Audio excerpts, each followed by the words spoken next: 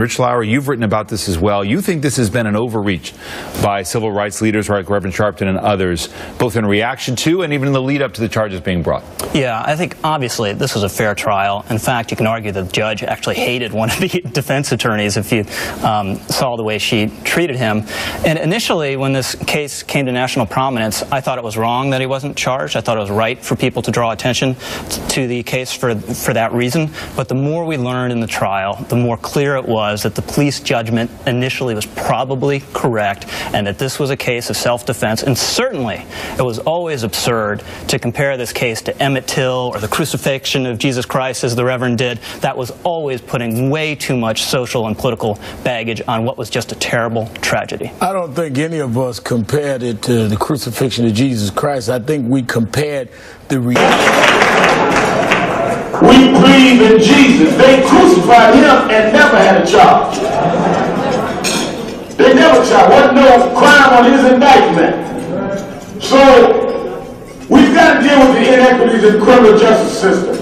The fact that we are overly uh, incarcerated, the fact that we go to court and are treated differently, and the fact that when we're victimized, there is not the same response. That's what Trayvon was about did, that was always putting way too much social and political baggage on what was just a terrible tragedy. I don't think any of us compared it to the crucifixion of Jesus Christ. I think we compared the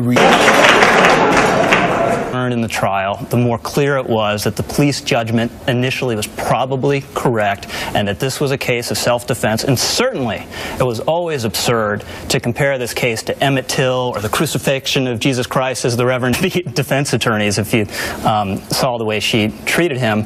And initially when this case came to national prominence, I thought it was wrong that he wasn't charged. I thought it was right for people to draw attention to the case for, for that reason. But the more we learn... We believe in Jesus. They crucified him and never had a charge.